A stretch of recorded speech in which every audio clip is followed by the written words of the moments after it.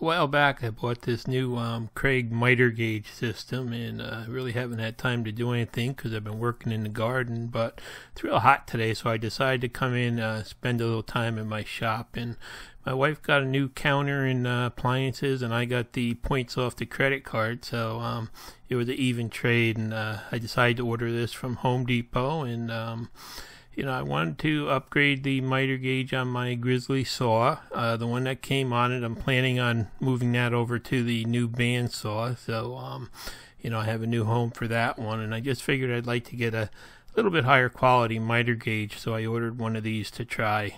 Um, Home Depot just slapped a label on the box and shipped it like that. Uh, it came real quick, and um, you can see it's packed well. It's got a uh, long aluminum extrusion there. That's uh, about 25 inch long or 24 inch long extrusion for holding your wood. Um, it's got the miter gauge bar and um, it's got uh, it's all aluminum. It looks like even the bar for the miter gauge is aluminum, and it comes with a handle and a bunch of hardware kits and a uh, stick-on tape measure and you know all the all the little nuts and bolts required.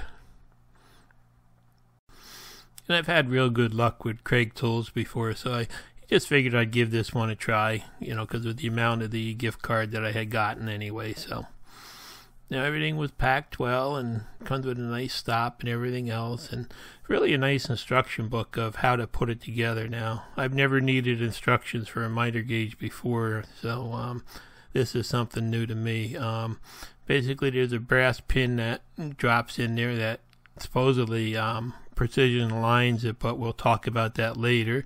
And then there's just a handle with a um, nylon washer that goes goes in there to tighten everything down.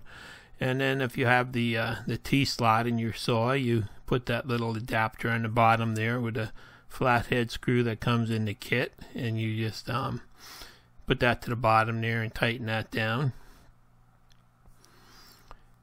And then uh, this kit comes with a bunch of nylon set screws that actually remove all the play from the um, the bar, any play that there is between the bar and your slot in the table. Um, they're just a uh, black nylon set screw. They don't seem to have Loctite or anything on them, so I'm not quite sure, you know, how they're gonna last or you know how they're gonna work out. But um, you have to just uh, insert them into the threads that go right through the gauge there, and you need a, a fairly narrow screwdriver. Um, my screwdriver wouldn't screw right through the uh, clearance hole in there for the thread, so I had to take it over to the belt sander and just just take enough off so it would um, you know fit through that uh, that tap drill hole that's in there. So once I did that, I was able to. Um, you have to drive them through about a eighth of an inch, and I just uh, screwed them out until they were flush with the opposite side there. Now there's um, there's five of these that actually um, kind of engage and disengage as the bar slides through the saw. So um, never had a set setup like this before. Uh, we'll see how it works. So you basically have to take and adjust each one uh, slowly. You have to um, in order to take the play out, it actually sticks out the side of the miter gauge. So you just have to keep fiddling with them one at a time until you uh, get them so that you know they're they're just moving uh, smoothly and they actually remove all the play. So that takes a little while, and there's nothing to lock them in place or anything. So I'm not sure if you're going to have to um, adjust them every once in a while. Plus, I had a little bit of a problem with the um, that casting on my saw, those front edges of the slot there, um, they actually were they were ground to a um, a perfect square edge. Um, and I'll show you in a second what I had to do. But there you can see it's just a matter of taking the five screws and um, once you get them adjusted right, there is zero play in it, so it does you know it does seem to work good and um, you know take all the play out and stuff. So I got that that all set nice and tight. And there's what I'm talking about. There was a real sharp edge there on that side that was um, actually kind of scraping the edge off those nylon screws as it went past it. So what I did is I just took a little diamond file there and just filed a little chamfer on there so that they'd engage without, you know, hanging up or anything. Then that uh, that extrusion that goes on a miter gauge has some little nylon buttons that you're supposed to be able to push in. Um, I couldn't push them in, so I used a little tack hammer on them. And they said to put one on each edge, and then um, you're supposed to put four on it, but they gave me six, so I put uh, one one inch from each edge, and I put one in the center of it, and then I just put one in the center of each of them on the side. Uh, then there's two quarter inch bolts that have um, the hex head fits in that extrusion and they slide in place. And you just have to, um, you know, line them up with holes in the gauge, and basically that just allows that uh, extrusion to slide as you, um, you know, you tilt the gauge and stuff, and you have to move it. So that was, you know, just tighten them down, and you can just loosen them and tighten them to slide it side to side. So next thing there is, there's a um, actual stop that goes in there that hits up against the edge of the miter gauge, and that allows you to return to zero for the um, that measuring tape that we'll put on in a little while. So basically, you just slide that in there. You slide the bolt head in there, and there's a spacer, and there's a uh, brass washer, and you will adjust that later. Then there's a, uh, a, metal tape measure with self-adhesive backing on it that comes with it and they tell you to just cut it at the one inch mark. And it is kind of tough on scissors but you can cut it. And then they tell you to cut the other end at the 25 inch mark. And that gives you the clearance away from the blade um, so you basically just have to start peeling the backing off. And um, there's a nice groove that it fits in and carefully try to keep it going straight through that groove um, if it gets a little bit going off to one side or the other you can actually pull it back up and uh, reposition it a little bit until you get it just perfectly straight and I just used the bottom edge of that groove there and you know it went in place and it laid down nice and flat stuck really good so that's going to um, be for setting the stop up.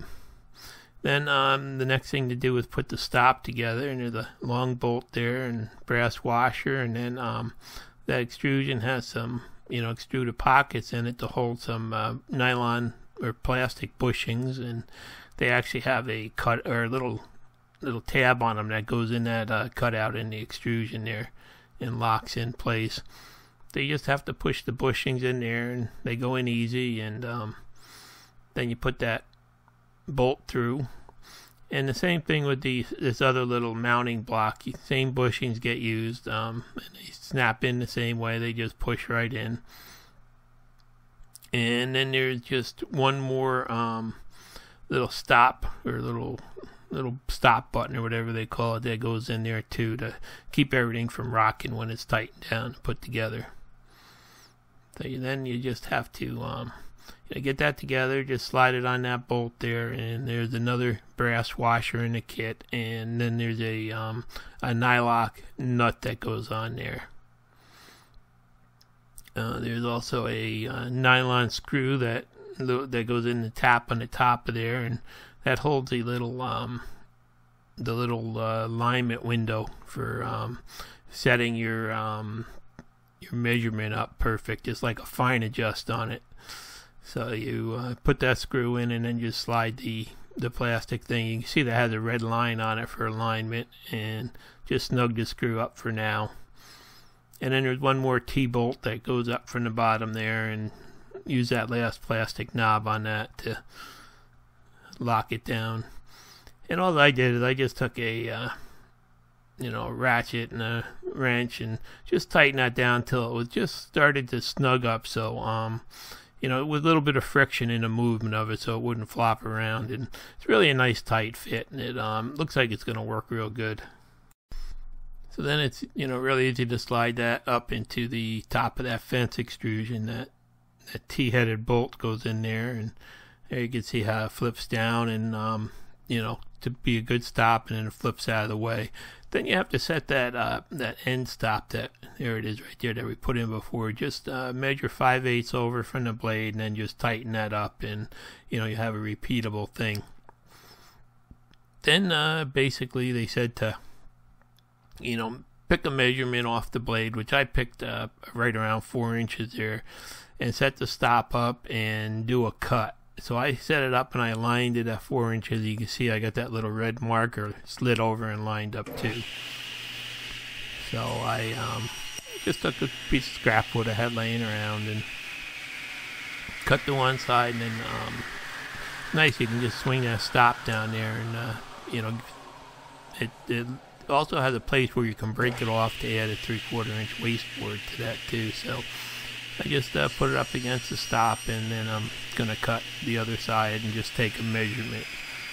Now um, I knew I wasn't quite perfect but yeah I was off by about 70,000 I think it was 70,000 here. I just kind of eyeballed it. So all I'm gonna do is I'm just gonna realign that. I'm gonna slip that over um, 70 thousandths. And then uh, I'll move that pointer back to the zero again and I'll do another test cut.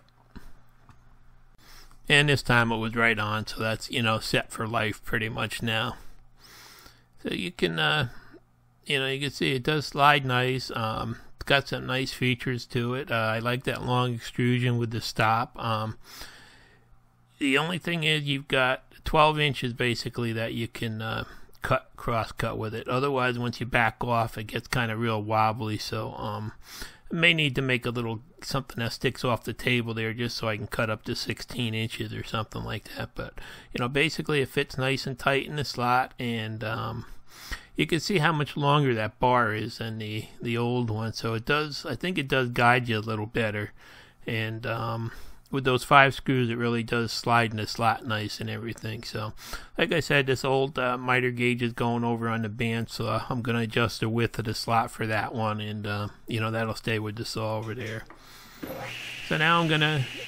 They say it's set at the factory, so I'm going to start doing my first couple of cuts with it, and um, you know, kind of kind of get a starting point. It should they say it should be um, you know exactly 90 degrees the way you get it. And, um, so I did a couple cuts and I checked them for square. And that, people were asking how that um, that new Amana blade cuts plywood. Well, I use plywood here just to show you that it does a um, really nice uh, splinter-free cut on plywood. It's really um, I'm pretty amazed at the blade. It really does a good job.